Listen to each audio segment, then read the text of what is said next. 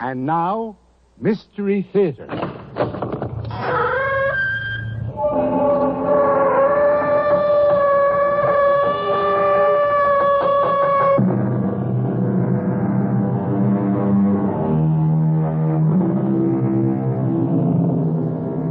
Come in. Welcome. I'm E.G. Marshall.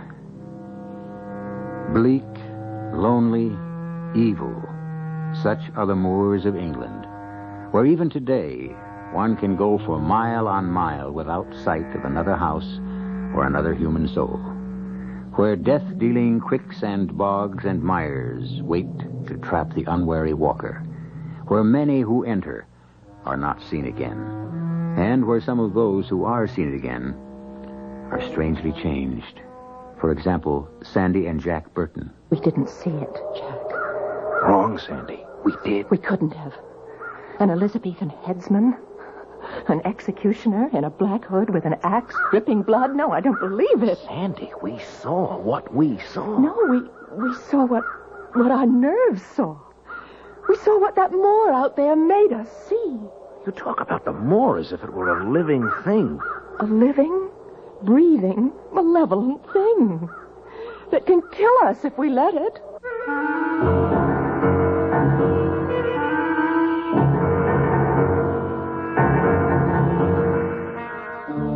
Our mystery drama, The Executioner, was written especially for the Mystery Theater by George Lowther and stars Tony Roberts.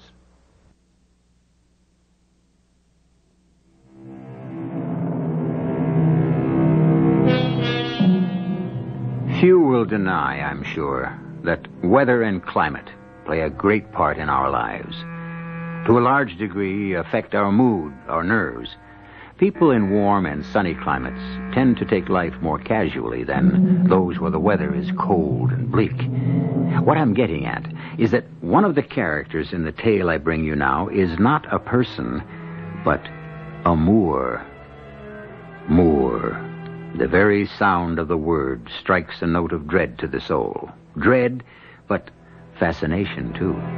For believe me, there is a certain allure in evil, a compelling magnetism which some cannot withstand. Two such people were Sandy and Jack Burton. Jack, how much further to Linton? 20, 30 miles. Not sure. We'll never make it by nightfall. We may not make it at all. The road is running with water. I try to go faster than five miles or so. The engine gets wet and starts to die. The wiring is soaking wet. That old farmer was right. We should never have taken the shortcut across the moor. He warned us. But, honey, I wanted to see the moor. I've never been on a moor in all my life. There's a writer. There's a writer who's supposed to be on vacation, resting and recuperating from a nervous breakdown. No, no. You promised me. On the plane over, you promised not a stroke of work till we got back from England. What's that? It's wet wires. I better slow down a bit more. All you've been doing since we landed is take notes of this and notes of that. You filled I don't know how many notebooks. Well, I am a writer, and it's sort of second nature to take notes. Yes, I keep hoping I'll hit on an idea that'll pay off for an article. Even better, a series of articles when we get back home. Well, all I wish. All I wish is you just plain stop worrying when you ought to be resting. And you. Oh, Jack. It looks like we've uh, bought it, as our English cousins say. You. You mean we're stuck? Afraid I do. The water on the road's gotten deeper. It's practically a lake. Well, what'll we do? Let's see if we can find shelter for the night at that castle on the hill. What castle and what hill? That hill over there. I see a hill. I don't see any. It's shrouded in fog, but when the fog lifted for a second or two, five minutes ago. There. See? You're right. There is a castle, or uh, it's a house, or something. You think you can make it that far? Oh, I'll make it. Anything but spend the night out here in this awful, absolutely awful moor.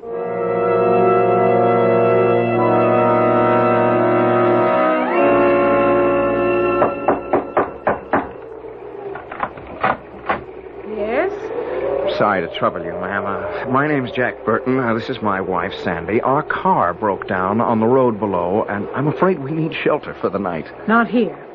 But, ma'am. I said not here. Oh, now, just a minute. Jack, don't argue.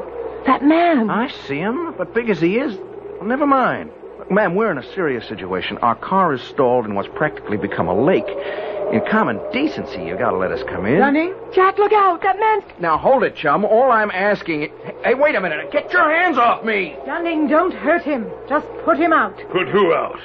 In weather like this? Never mind, Dunning. Too late. Mrs. Drood, what's going on here? Who are these nice young people, and why was Dunning putting them out? Sir, our car is stalled on the road below, and now with night coming on and all, we were hoping you could put us up until morning. Well, of course we can. Come in, come in. Dunning, close the door. Permit me to introduce myself. Sir Leonard Hastings Brooke. And this is my home, Bodmore Manor. My housekeeper, Mrs. Drood, with whom I shall have a few words later about her lack of hospitality. And this is Dunning, man of all work. He cannot speak. He's a mute, but he can hear well enough and carry out orders. And you, sir? Jack Burton, and this is my wife, Sandra. We're Americans here on vacation. We were taking a shortcut across the moor to Linton. Uh, yes, yes, yes, yes. You can fill me in on the particulars later. Right now, you both look like drowned rats. Uh, a very pretty rat in your case, Mrs. Burton. We must get you both into dry, warm clothes. You're awfully kind. I can't thank you. And. What was that? I beg your pardon. I heard it. I thought I heard. It. I heard it, too. Someone screamed. Oh, just a trick of the wind, that's all. The wind? Yes, yes. Howling about these old manor houses, it can sometimes make the strangest and most nerve wracking noises. Well, I shall look forward to seeing you again at dinner. If you. Yes. Oh, yes. Thank you, Mrs. Drood. Jack, that wasn't the wind. That was a scream. It sure sounded like it. Oh, Jack. Jack, let's leave. And go where, Sandy? Where?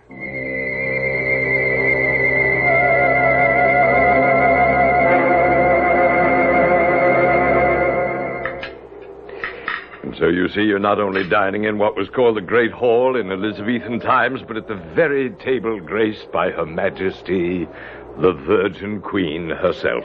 Then, if I follow you, Sir Leonard, Bodmore Manor was owned by Elizabeth the First? Uh, Her Majesty Elizabeth the First. Her sovereign majesty. Oh, well, yes, of, of course. Did she uh, use it for any special purpose? She?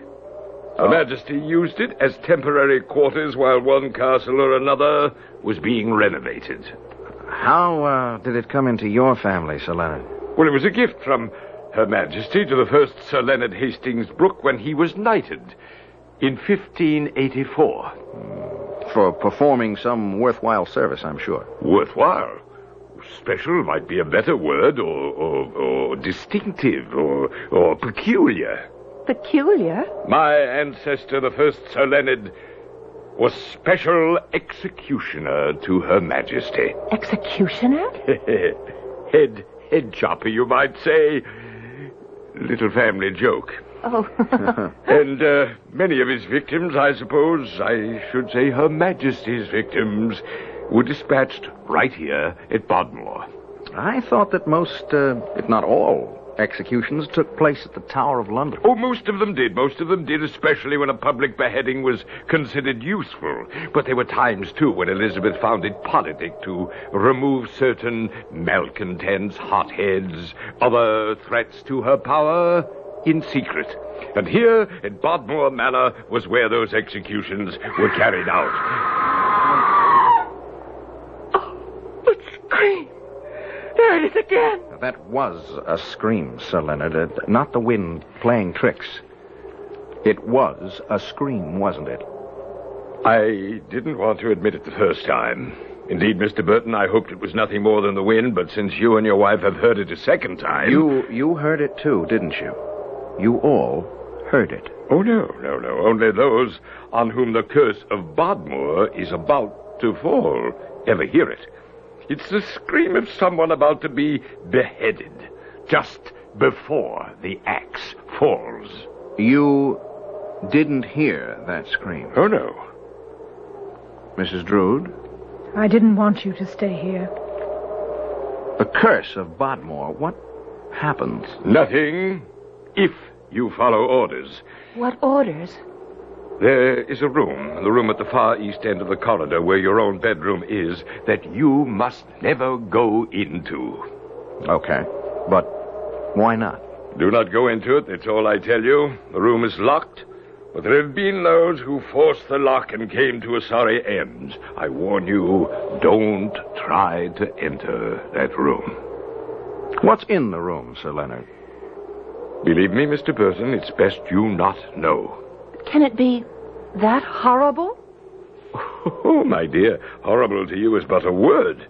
On my 21st birthday, my father took me to that room and showed what is in it, and horrible became to me actuality. I beg you, as you value your sanity, as you value your life, stay out of that room.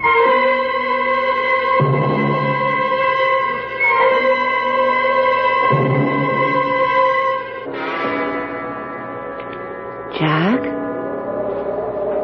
Jack? Here, honey, by the window. What are you doing over there? Why aren't you in bed?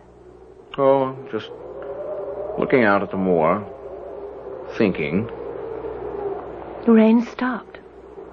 And there's a moon. uh, with black clouds scudding across it. What have you been thinking about? Yeah, not thinking exactly.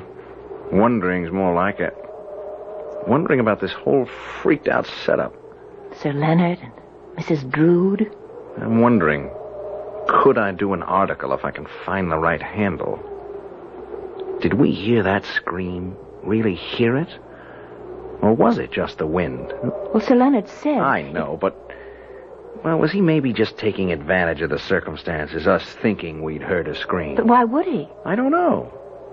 That's what I've been sitting here trying to figure out. All I can come up with is that he's playing some kind of childish game. He doesn't act like a child. No, but Come. Come on to bed. no, no, no. You you go on and on. I'll sit up for a while yet. Jack, what are you up to? Up to? Me? That room at the end of the corridor. Now, whatever gave you the idea that I would? Jack, Honey, it would make one terrific article. If there is anything in that room, something really horrifying or whatever, or even if there isn't, the experience we're having here right now. I mean, the car stalling, Bodmore Manor being Liz the One's private execution place, the curse, the whole bit. I mean, I can sell it like that when we get back. you are not supposed to be working. Dr. Delmar warned Oh, you. and yeah, and sent me his bill at the same time. Now, you don't pay that kind of bill, and a few others that are bugging me, by resting. All right. Let's go. Well, you don't have to. I have to. Now, question. Sir Leonard said the room is locked. How do you propose to open it? Simple. You've forgotten that article I did on safecrackers and lockpickers. You're right. I had forgotten. All right, if you're ready. Come on. Well, coming? Just the sight of that long corridor. All those suits of armor lining the walls. Look, go back to bed, and I'll. No, no. Go ahead. I'm with you. Jack, look at this. Yeah, it's something, isn't it? A big glass case filled with clothes worn in the 16th century, I guess. There's no need to guess.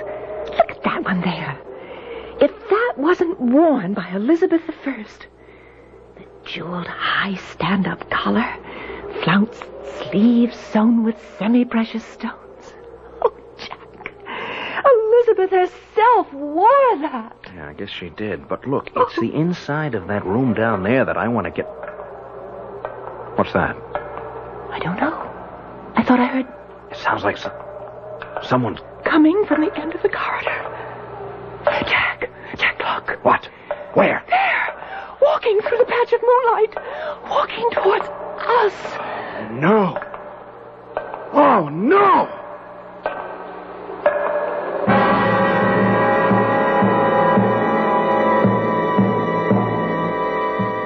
What is it that Sandy and Jack see? Wish I could tell you. Matter of fact, I could, but uh, there's a place for everything, and everything in its place, I say. I'll return shortly for Act Two.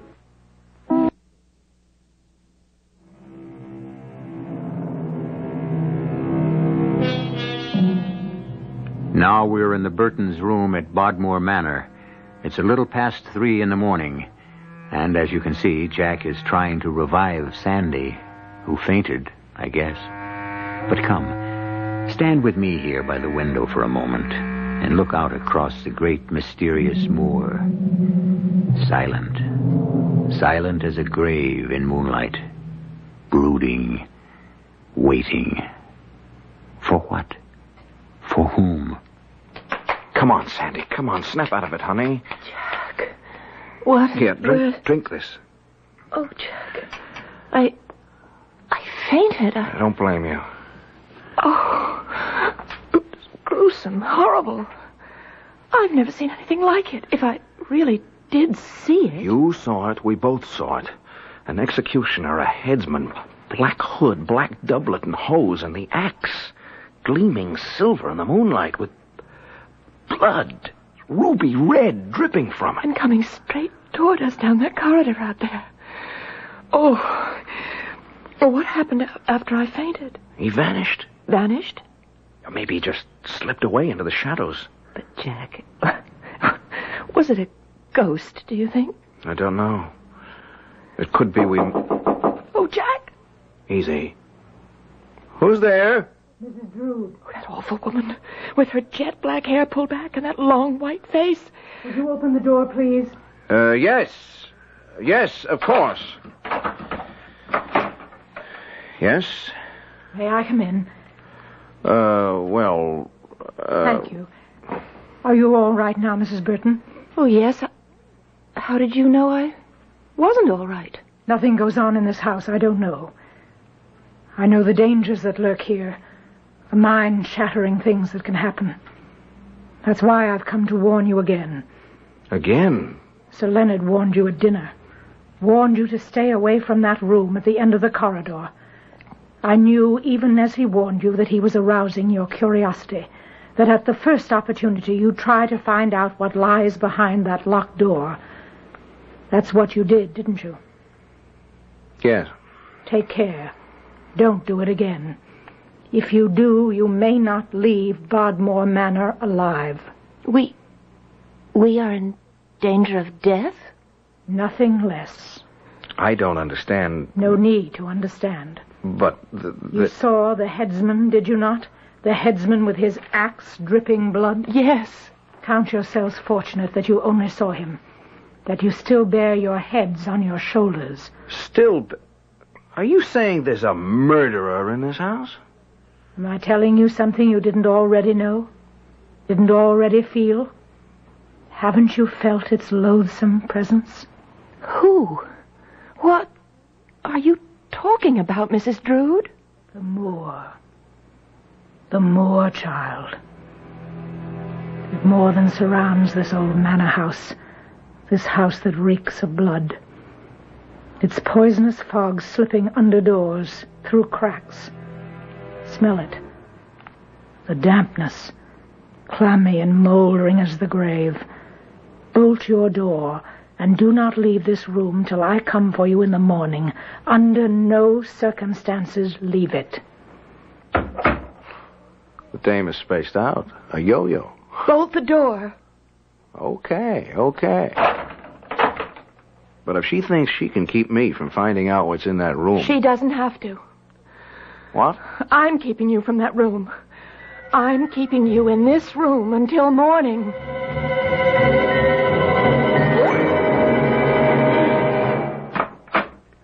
Oh, Sir Leonard. I've been waiting for you, Mrs. Drood.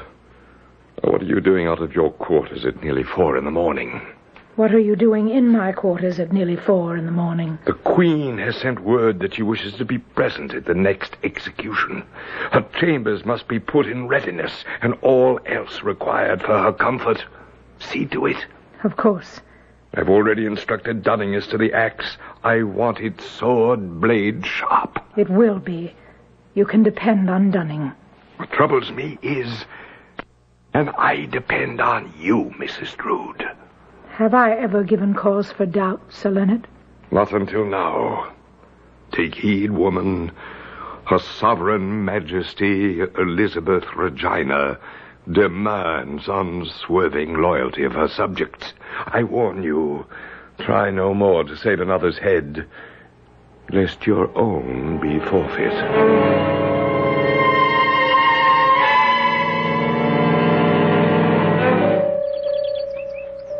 Well, is your car, Burton, none the worse for wear, I should think? Uh, if the wires have dried out, Sir Leonard.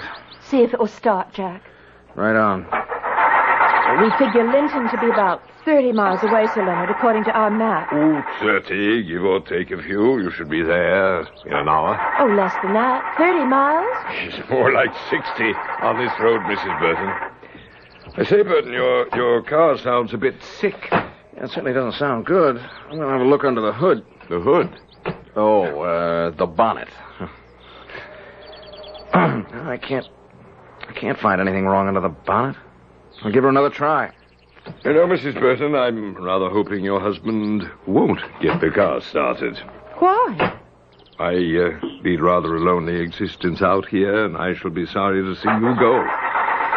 Be more than delighted to have you stay, you know. Oh, that's awfully kind of you, Sir Leonard. I, I wish we could, but we do have a schedule to keep to. In fact, we'd better. We're booked on a flight out of Heathrow next Monday. It's no go. I mean, she just won't start, and there's no sense in wearing down the battery. These wires have got to dry out. Well, schedule or no schedule, Mrs. Burton, looks as if I'll have the pleasure of your company at least through luncheon.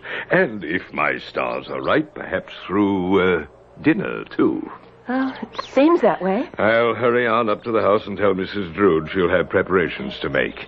Uh, you two can saunter along at your leisure. Enjoy the morning. All right, Jack. Level. Level? What did you do to the car? Me? To the car? What are you. I know you, husband mine. I know you all too well. You're going to find out what's in that room if it's the last thing you do. Sandy, I have to. I mean, there's something really hairy going on here, and I'm going to get to the bottom of it, because if I don't, no editor will buy the article I intend to write. I don't care whether the editor. I do. I've been out of circulation too long. Lord knows how many contracts I've lost, and heaven knows we could use the dough. Now, I've got a hot article in the palm of my hand, Sandy, and I mean to play it for all it's worth. Now, no more talk. That's the end of it. I hope you're right. What? I hope it isn't just the beginning. The beginning of something I'd rather not think about.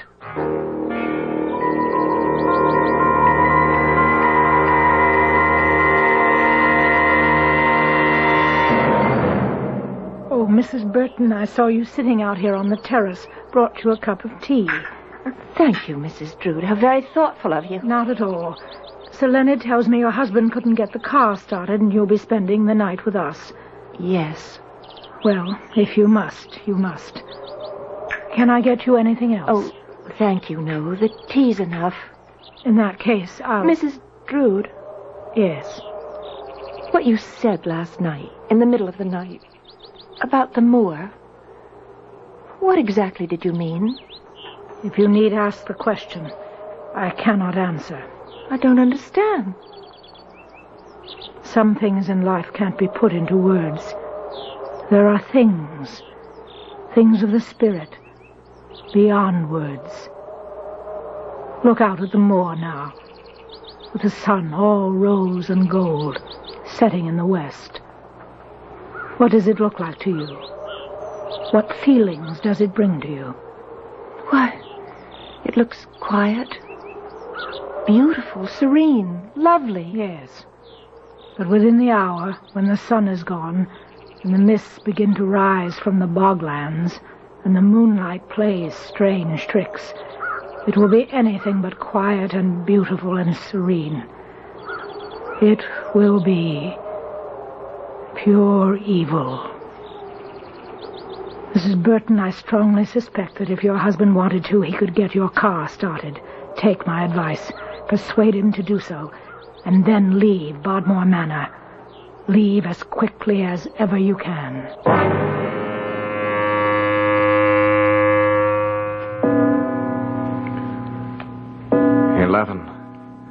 Now's as good a time as any, I guess. If I could only make you listen to reason. I am listening to reason, but mine, Sandy, not yours. Now, I'm the one in this family who has to make the bread. Oh, you don't think I'm going to let you go there alone? I would rather. If you hadn't fainted last night, I might have found out then what's going on here. Don't worry, I won't faint. Not this time. No. No, I can't be sure of that, Sandy, and I've got to find. What is that? Drums. Sounds like muffled drums. Muffled drums? Yes, I've read somewhere that they were used just before someone was executed, beheaded. Elizabethan times, I mean. Let's go. Jack, that sound is coming from the other end of the corridor, from that room. Whatever's going on, now is the time to see what it is. Come on. Now, quiet. Try not to make any noise. This corridor. So dark. So full of shadows. Smells. It's coming from that room, all right. The drums. Shh. Listen. What's that? It's voices. I know, but. Sandy, the door, look. It's ajar. Thin crack of light. You can see it. Yes. I. I'm going to see if I can open it quietly. If you have no last words, place your head on the block. Please accept the small bag of gold pieces, Executioner. Dispatch me quickly, I beg you. It shall be done. There now, your head. Place it on the block so it lieth properly. Yes. Jack. A beheading. Woman with her head on the block. When I stretch out my hands, The executioner. that will be my signal for you to strike. Axe raised. Now. He strikes. Oh, a head. A head. Rolling around on the floor. Oh, Jack, you. Oh. What's that? That's how. What? Master Dunning, we are observed. That man standing in the door. Seize him. No. No, wait. Now, listen. Seize him, Master Dunning. Seize him. And bring him to the block.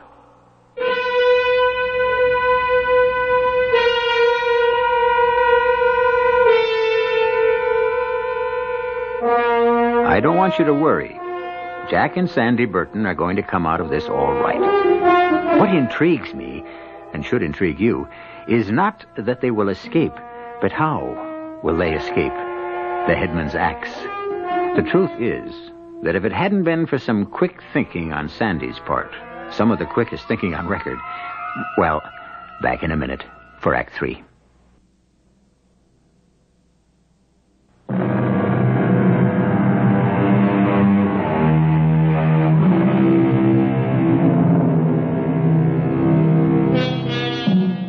A manor house that dates back to Elizabethan times, a frightful scene is taking place. A beheading. Ignoring the orders of Sir Leonard Hastings Brooke, owner of Bodmore Manor, and the warnings of Mrs. Drood, Jack and Sandy Burton dared to open the door of that forbidden room. To their horror, for on the very moment of opening it, they saw the great axe of a headsman fall and cleave the head from the body of its victim. That man standing in the door. Seize him, Dunning. Seize him. And bring him to the block. No! Stay your hand, Dunning. Mistress Drood, you dare countermand an order I have given? Nay, Sir Leonard, I dare but entreat that you give a moment's thought to what you are about to do. Dunning, fetch him here. Oh, oh. I say hold. You forget yourself, mistress. Nay, sir, you forget who I am. Who are you then? Minerva Drood, First Lady in waiting to Her Majesty. I represent the Queen in her absence, and I have the right to give orders as she might do were she here. Well, it's the first time I've ever heard of such a right. Your ignorance, sir, will not protect you from Her Majesty's wrath should you dare take my entreatment lightly. But, well, there stands Sir Jonathan Burton, a traitor to England and to her sovereign majesty, if ever one lived. Jack, he's pointing at you. Not proven. Not proven. He has not even been put to the question. Yes, but I thought. Well, never mind. I shall look into this at once. Come, Dunning. We must consult the records. You, Mistress Drood, remain here with the prisoners. But, Sir Leonard, Do as I bid you, madam. Dunning, come. Mrs. Drood, what in heaven's name is this all about? use your eyes, Mr. Burton, and I think you'll have the answer for yourself. Jack, that that figure kneeling at the block, it's A dummy. As you can see, a storefront mannequin dressed in Elizabethan clothes. The head, just a dummy's head. Uh, the, the executioner, the uh, headsman in the long black hood. That was Sir Leonard? Yes. Is he crazy? Again, yes. Oh, good Lord. Nothing to be alarmed about, oh. Mrs. Burton. In any case, not until now. But I'm afraid he's begun to take a turn for the worse. Yeah, but what's just happened here? I don't get it. Let me explain. Bodmore Manor was, as Sir Leonard told you at dinner last night, a secret place of execution used by Elizabeth I. Sir Leonard, of course, knew this when he inherited the estate on his 21st birthday. You see, he had never been what you might call mentally stable. Learning he was the descendant of a headsman was all it took to send him over the edge. He's harmless, you said? Yes, or has been till now.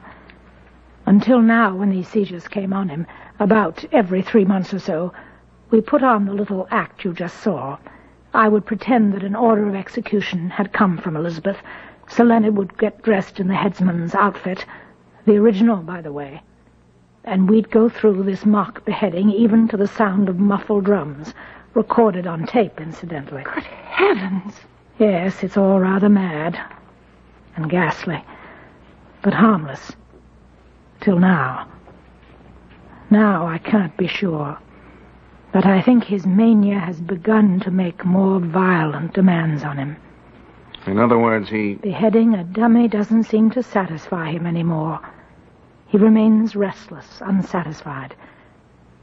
I don't like to think this, but I'm beginning to fear that he may... He's returned. Sir Leonard, I am in your debt, good mistress.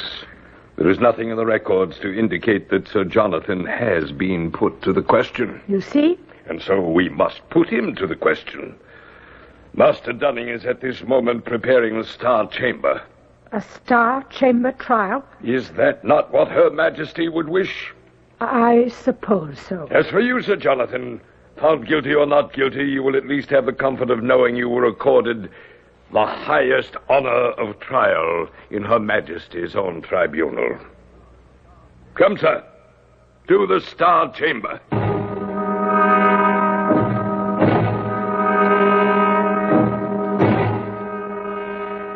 It not true that you, Sir Jonathan, allied yourself with my Lord Essex in his abortive attempt to seize the reins of government?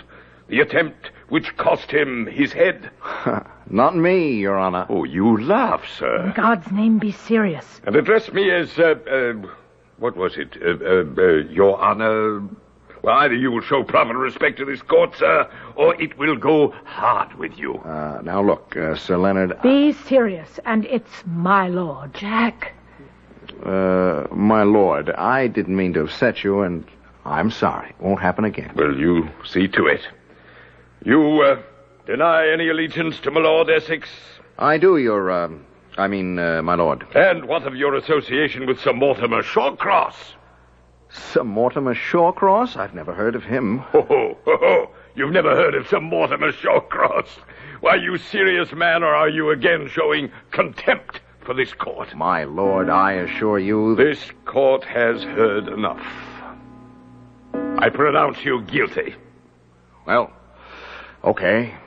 I'm guilty. And such being the findings of this Star Chamber, you are hereby sentenced to be executed at dawn tomorrow morning. Dunning! Take the prisoner to the place of execution there to wait the headman's axe at dawn. I shall retire to rest until that time. Oh, look, wait a minute, Dunning. I'm, come on now, Dunning, no rough stuff. Play acting is play acting. This is going too far. Mrs. Drew! warned him it isn't play acting anymore. Look, if it isn't play acting, damn it, Dunning, let go of me. What is this? The real thing, you foolish man, the real thing.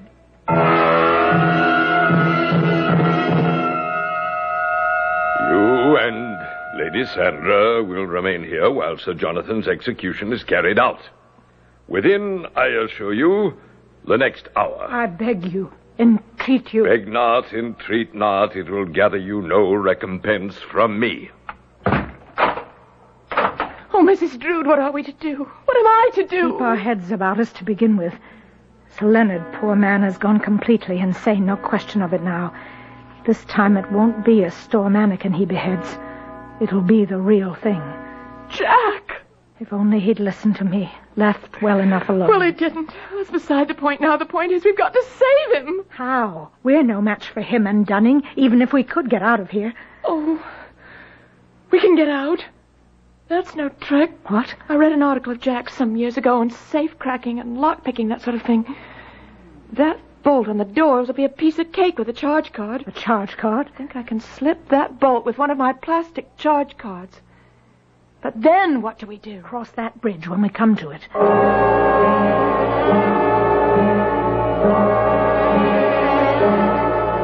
Well, Well, it's coming. It's. The bolt is moving, but I. you've been almost an hour at it, and you said it would be simple. I also said I'd only read Jack's article. I never tried it out. The bolt's slipping. We'll. We'll get this door open all right. The drums. The muffled drums. Mrs. Burton, I can tell you, you have ten minutes. Ten minutes before that axe falls.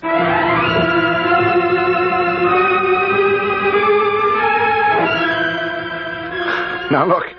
Look, you two, this joke has gone far enough. Dunning, take it easy, will you? The straps are biting into me. Listen not to him, Dunning. Bind him tightly, tightly. You're crazy, Sir Leonard. You have gone stark raving mad. No, Sir Jonathan. My name is Jack. Jack Burton. I am an American, a writer. I am. You are a traitor, sir, and as such you shall die. Good, Dunning, good. Bring him to the block. To the block. Sir Leonard! Open this door! Who knocks? Miss Drood! Mistress Drood. Not Mistress Drood! Mrs. In heaven's name, come to your senses! Don't you realize what you're doing? Sandy, save me. They, they bound me with straps. They're laying my head on the block. Oh. This nut, he's pulling that black hood over his head. He's going to kill Jack. That madman is going to chop off my husband's head if we don't stop it.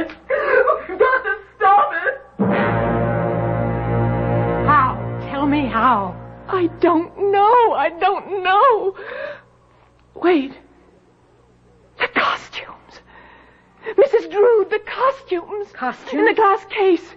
Queen Elizabeth's gown, the one with the high neck and the jewels. What of it? Get it. I can't. The glass cases are locked. We'll break the... Oh, never mind. I will. Help me, please, please.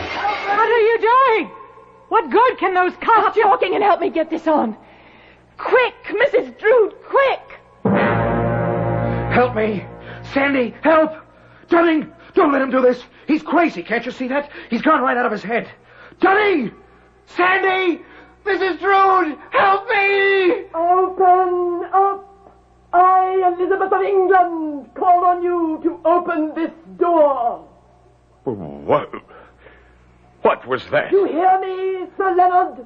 It is your queen who speaks. Open this door. Dunning. It is Her Majesty. She's here. Open the door, man. Open it! Your Majesty. Your gracious Majesty. What find I here? What knavery is this? Well, Your Majesty. Put down I- that axe this instant. Put it down, I say, or your own head shall fall beneath it. Put it down. Yes, yes. Yes, of course, Your Majesty.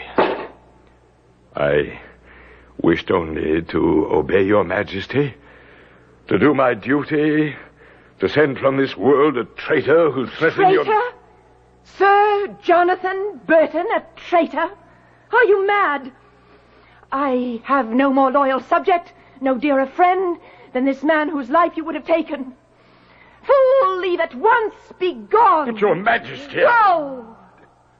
I go. I go. Sandy, you saved my life. But that costume. It's the one in the glass case, Jack. The one Elizabeth herself wore. And it, it suddenly struck me.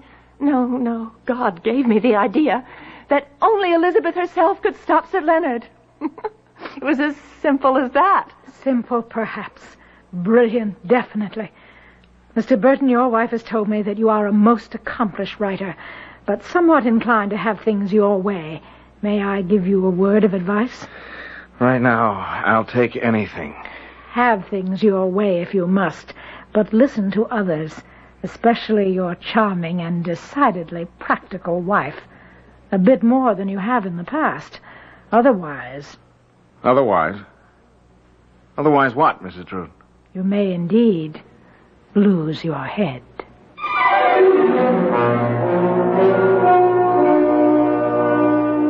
A strange story? Yes. Incredible? Definitely. True? Well, I can personally vouch for its authenticity. How? Uh, now what have I got myself into? Uh, well, uh, you see, uh, the truth is that before I became an actor, I was a writer. No, now, wait a moment. I didn't say I was Jack Burton. I didn't say that at all. I'll be back shortly.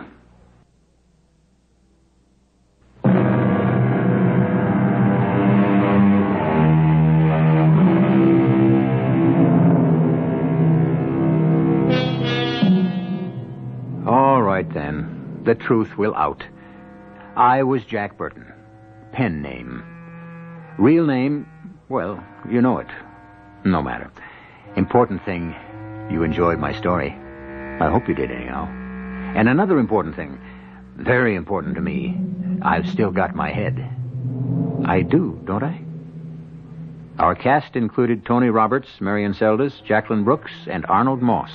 The entire production was under the direction of Himan Brown. This is E.G. Marshall inviting you to return to our Mystery Theater for another adventure in the macabre. Until next time, pleasant dreams.